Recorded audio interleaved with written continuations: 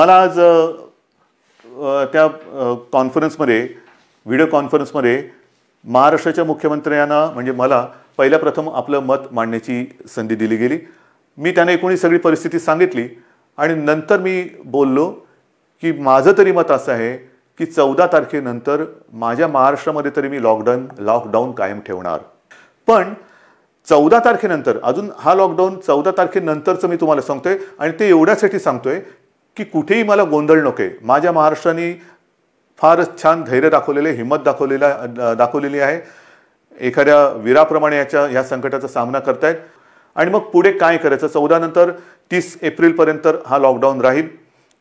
पण चौदा नंतर साधारणतः काय करणार?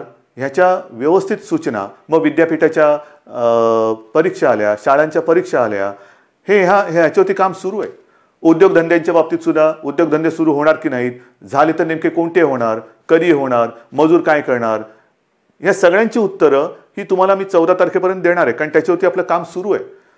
मी पुन्हा एकदा सांगतो की आत्ता असं अचानक तुमच्यासमोर येण्याचं माझ्या मनात काही नव्हतं पण एकूणच उलटसुलट बातम्या येण्याच्या ऐवजी मला असं वाटलं की तुमचा मुख्यमंत्री म्हणून मला हे सांगणं माझं कर्तव्य आहे आणि त्यासाठी म्हणून मी तुमच्यासमोर आलेलो आहे. संपूर्ण लॉकडाऊनमुळे महाराष्ट्रातील गरीब आणि निम्न मध्यमवर्गीयांना तात्काळ रेशन मिळण्याची आवश्यकता असताना नऊ एप्रिल रोजी महाराष्ट्र सरकारने शासनादेश निर्गमित करून असं सांगितलं आहे की महाराष्ट्रातल्या एक लाखापेक्षा कमी वार्षिक उत्पन्न असलेल्या कुटुंबांना ज्यांच्याजवळ केशरी कार्ड आहे म्हणजे महाराष्ट्रातील एकूण तीन कोटी आठ लाख चौवेचाळीस हजार नागरिकांना एप्रिल महिन्यात कुठलंही रेशन मिळणार नाही.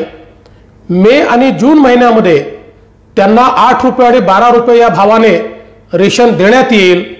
मला असं वाटतं हा अतिशय चुकीचा निर्णय आहे.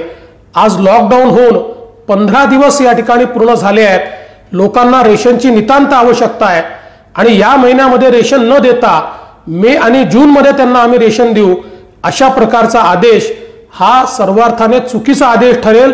तो तात्काळ सरकारने परत घ्यावा आणि या गरिबांना आणि निम्न मध्यमवर्गीयांना तात्काळ त्यांचं रेशन याच महिन्यात देण्यात यावं अशा प्रकारची विनंती मी सरकारला करतो आहे.